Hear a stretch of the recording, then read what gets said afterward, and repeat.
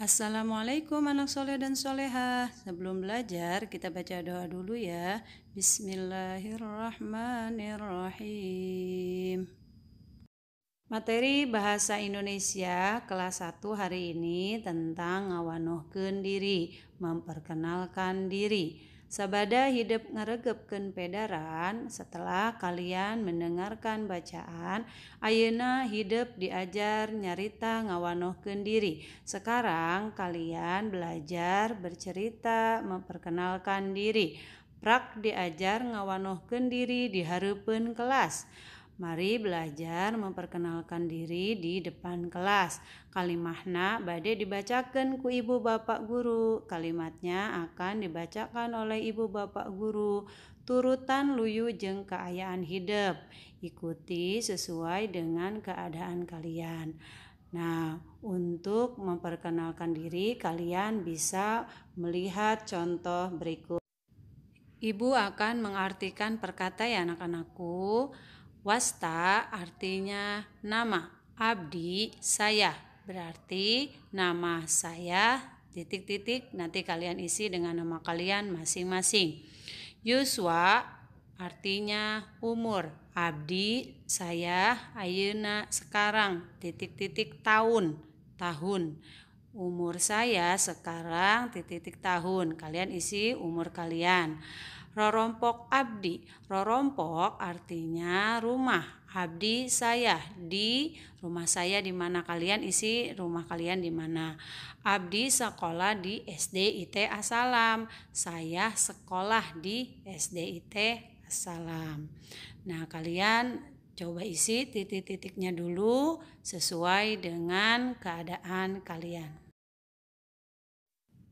Mudah kan cara mengisinya? Kalian hanya mengisi nama, umur, tempat tinggal, dan sekolah kalian. Selanjutnya, nyangkem aksara vokal. Mengucapkan huruf vokal. A, apik, mi, ya, ra, pa, ri, ya. E, entog, sehat, sae i, ibu, sair, cai, o, odol, waos, sampo, u, ubar, suuk, cau. Selanjutnya, menyanyikan tembang bagian awak menggunakan pupuh kinanti. Kita akan artikan terlebih dahulu sebelum kita tembangkan menggunakan pupuh kinanti babagian awak bagian tubuh. Iya namina pangambung ini namanya hidung. Nu iya namina damis. Yang ini namanya dagu. Kanggo ningal iya soca. Untuk melihat ini mata. Kanggo nguping iya cepil. Untuk mendengar ini telinga Nu ieu namina taar. Yang ini namanya kening. Sisina ayah palipis. Sisinya ada alis. Nu iya namina pangambung. Nu iya namina damis.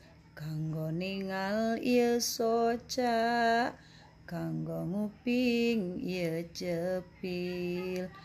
Nu namina taar sisina ayah palipis Kurang lebih seperti itu kalian bisa mencoba menyanyikan lagu bagian awak menggunakan pupuh kinanti sambil menunjukkan anggota tubuh sesuai dengan lagunya ya anak-anakku. Yuk kita coba Untuk mengingat lagunya, kalian bisa sambil menunjukkan anggota tubuh sesuai lagunya ya. Alhamdulillah, hari ini kalian sudah belajar ngawanohkeun diri, nyangkem aksara, dan menunjukkan anggota tubuh dengan pupuh kinanti. Hatur nuhun, terima kasih. Sampai jumpa di pertemuan berikutnya. Wassalamualaikum warahmatullahi wabarakatuh.